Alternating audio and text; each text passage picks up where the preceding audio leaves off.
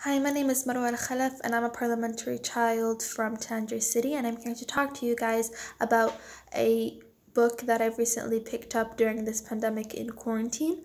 This book is In This Grave Hour by Jacqueline Winspear, and this book is a historical fiction and a murder mystery that takes place in Britain during the early stages of World War II.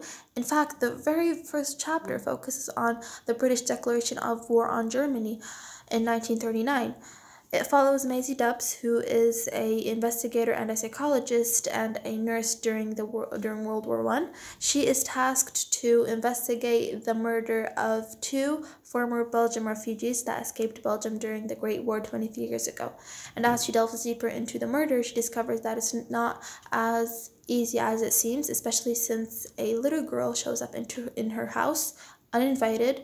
No one knows who she is. She can't speak. Her name is Anna but that's the only thing they know about her. And Maisie can't help but feel that this little girl is linked to the murders and that the two cases she's investigated are more political than they seem. This book is very intriguing and very random because it focuses on the relationship that Belgium had with England rather than Germany had with any other country because whenever I read about a book in world based on based in World War II. It always focuses on Germany and the countries related to Germany during this war.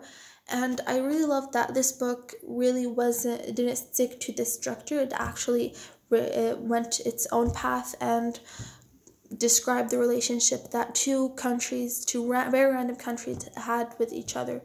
Um, it is very detailed and the writing is very specific, and I love that very much. It makes you in, entertained with a educational background because every single ch- chapter you learn new things about the war and about the people at that time. I highly recommend it for anyone who's interested in historical fictions that don't really um, don't really play with history and who are interested in very very intriguing murder mysteries. Um, I read it and I read it twice actually, and I loved it very much. So I highly recommend it. Um, so thank you so much for sticking to the end of this video and be sure to check this book out and check this author because she is a very, very skilled author. Um, thank you so much and have a nice day.